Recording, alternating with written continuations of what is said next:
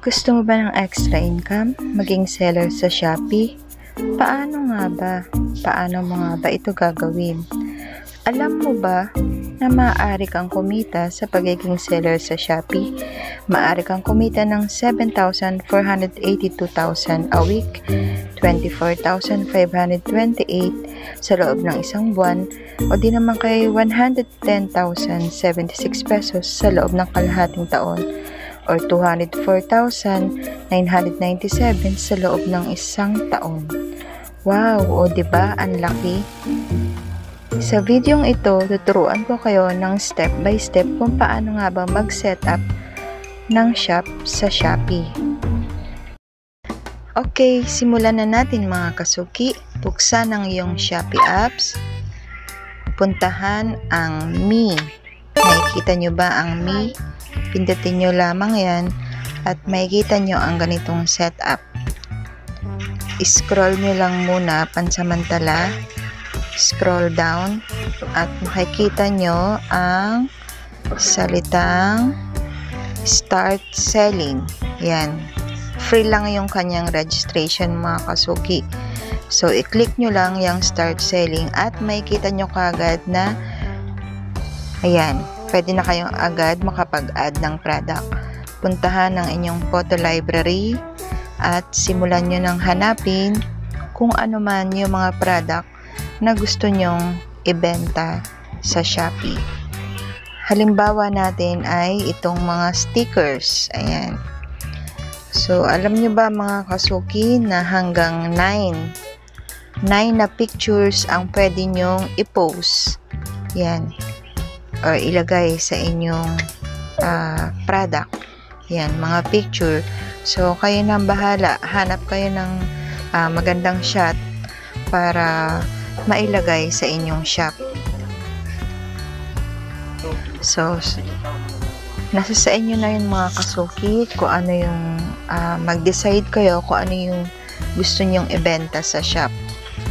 So, tapos, upload nyo lang yung pictures. Ayan. So, uploaded na siya. Next step nyo naman is yung product name. So, kung mapapansin nyo mga kasuki, no, meron dyang asterisk na red.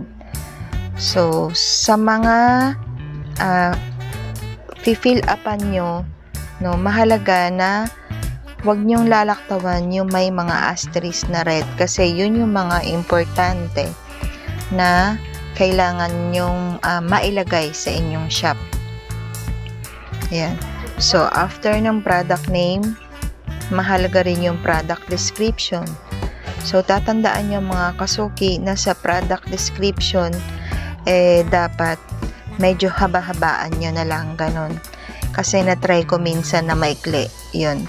Medyo nakapending yung pag-upload ko nung uh, product.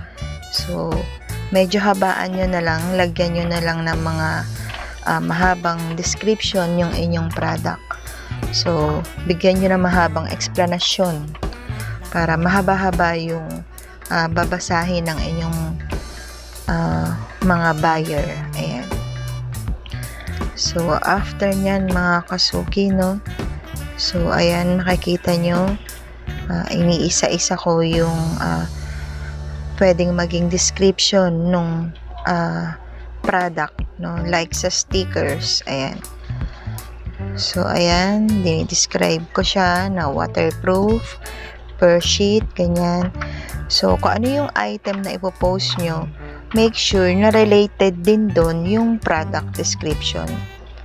So ganun lang yon mga kasuki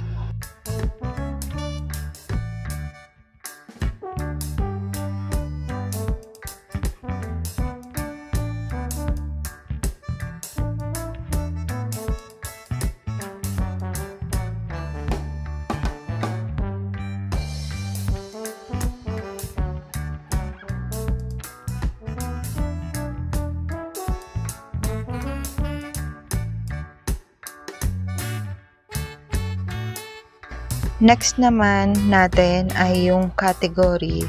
So, dito ay maghahanap kayo kung saan ba nakabilong yung inyong product.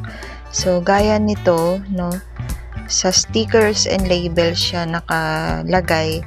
Tapos, lagyan nyo na lang ng no brand or nasa sa inyo. Ayan. So, sa sa pagkakataong ito, no brand yung inilagay ko, no? Tapos, nilagyan ko siya ng paper size A4. Ayan. So, optional naman siya. Nasa sa inyo na yon kung lalagyan nyo o hindi. Tapos, yung price. Ayan. So, sa pagsaset ng price, syempre, kayo na rin ang magde-decide nun kung magkano yung price ng inyong produkto. So, after nyan price, next nyo naman ay yung uh, variation. So, mag-add kayo. Kunwari, may iba-ibang klase yung uh, inyong produkto. So, halimbawa nung sa akin, iba't ibang klaseng materials yung ginagamit ko sa sticker. So, i-edit nyo lang siya. Yan. So, lagay natin isa-isa example natin ay yan, so makikita nyo sa screen yan, medyo na may mental block pa ako. Yan, so math ordinary. After ng math ordinary ayan. So click nyo ulit yung add kung meron pang iba pang variation. Ayan. So after nyo mailagay. Ayan, madali lang mga kasuki. Ayan. So, kung nakikita nyo, step by step, makikita nyo. Ayan. So, click lang ng click. Huwag mahihiyang mag-click para ma-add ang inyong mga produkto. Ayan. Huwag mahihiyang mag-click para makapag-add ng iba't ibang klaseng variation. Ayan.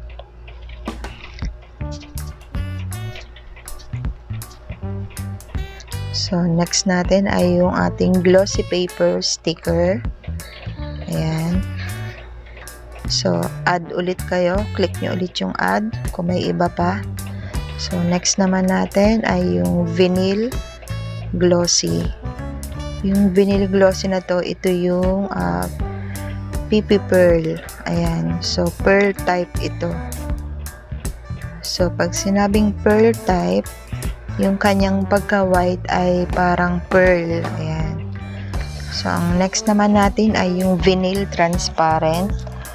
Yung vinyl transparent ay frosted type. Ayan. So, nasa sa inyo na yun mga kasuki, no?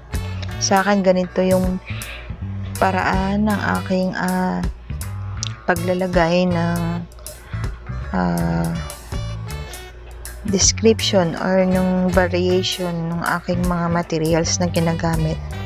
Ayan. So, choice nyo yan mga kasuki, no? Maga unlimited. Unlimited yung variation, no?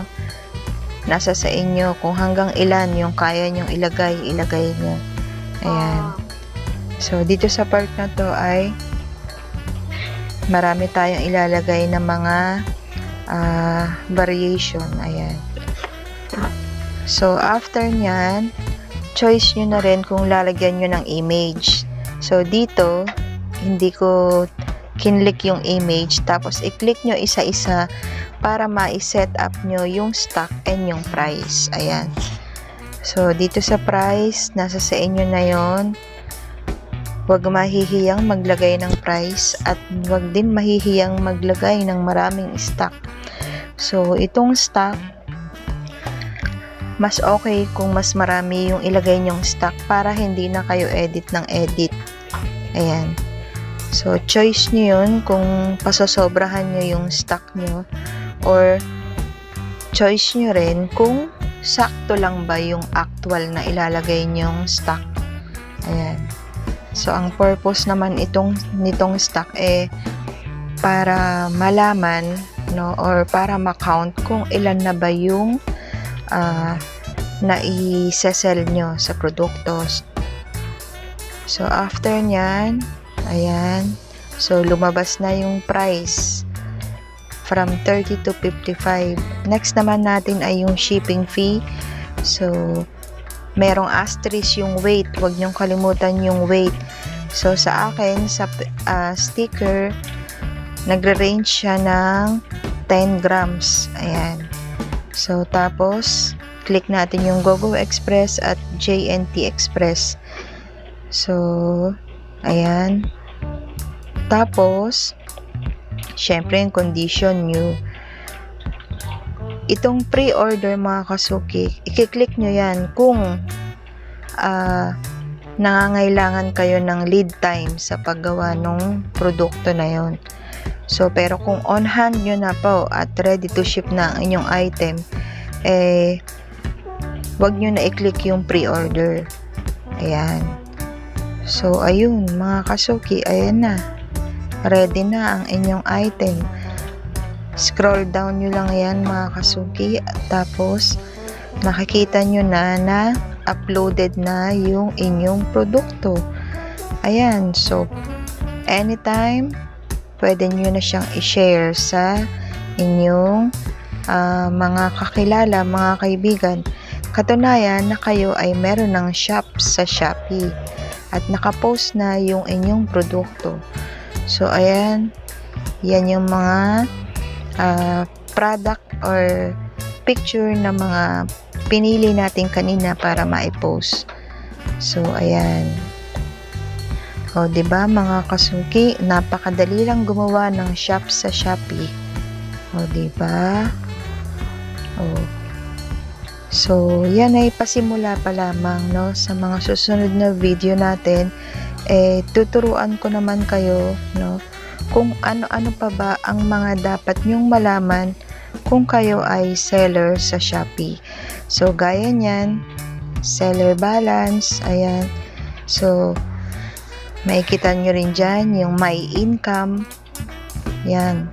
Tapos, uh, marami pa kayong mga dapat matutunan. Ayan. So, ituturo ko sa inyo. Yan. So, dito, yung shop shipping settings. So, makikita nyo dyan, naka enable yung ating uh, ah, COD tapos yung address. So mahalaga na yung inyong uh, home address. Eh yun din yung inyong maging pick up address. Ayan. So i-set up nyo siya as pick up address. Ayan. So dito sa may baba i-click nyo lang yan pick up address at saka return address Ayan. So, kiklik-click nyo lang yan mga kasuki. Ganun lang siya kadali. Tapos, submit. Ayan. O, ba diba? Napakadali lang mga kasuki. Ayan.